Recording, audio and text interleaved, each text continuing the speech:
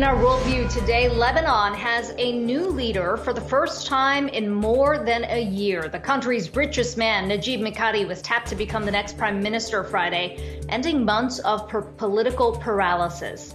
Lebanon hasn't had a functioning government in place since former Prime Minister Hassan Diab resigned just days after the Beirut port explosion that killed more than 200 people in August of last year.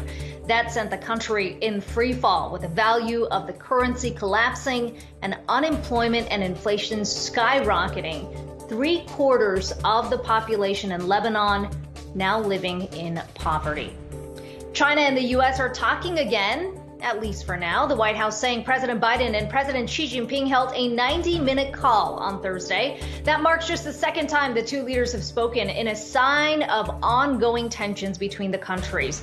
The White House says the two discussed the responsibility of both countries to ensure competition doesn't veer into conflict. But the official Chinese summary says Xi blamed U.S. government policies towards China for straining relations between the two sides. The call marked the first communication between these leaders since February.